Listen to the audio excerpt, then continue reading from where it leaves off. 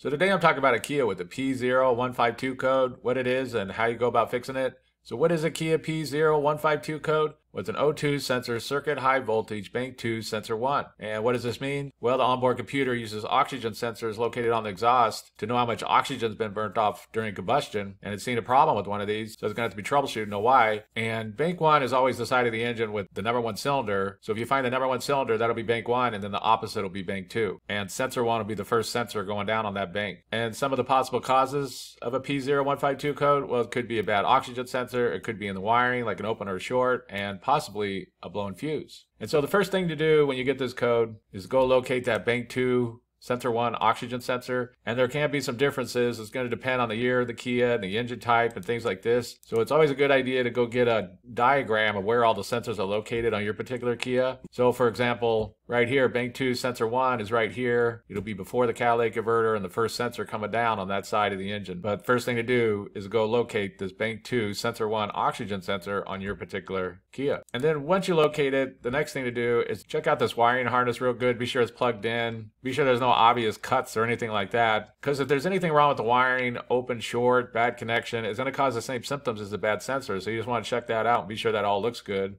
And another thing to keep in mind is that this is going to be on a fuse. There'll be a fuse box inside the engine compartment, and inside there'll be a fuse that these are on. Sometimes can be labeled a little bit vague. Usually Kias are labeled sensor one, but again, this can vary depending on the year. But there will be a fuse inside of there that these are on, and if that blows, then it can cause problems. And so if you check that all out, you check out the fuses, they all look good. You check out this wiring, that all looks good. There's no issues there. Very likely, the sensor just needs to be replaced. And one thing to keep in mind is that these often require a special tool to get back in to go around that wire, and, so, and they're often recessed down in to like a hole, especially when they're up on towards the top of the engine. The sensor one sometimes is right on the exhaust. On some Kias, it'll be right on the exhaust when you open the hood. And if it's like that, you'll definitely need that special tool so you can get it back in and you could get into this recessed hole. Again, it's going to vary, so you want to go check it out and see, and it depends on what type of tools you have, but you might need this special tool. And so that's basically it. I just wanted to give a real quick brief overview of how you go about fixing a Kia with the P0152 code.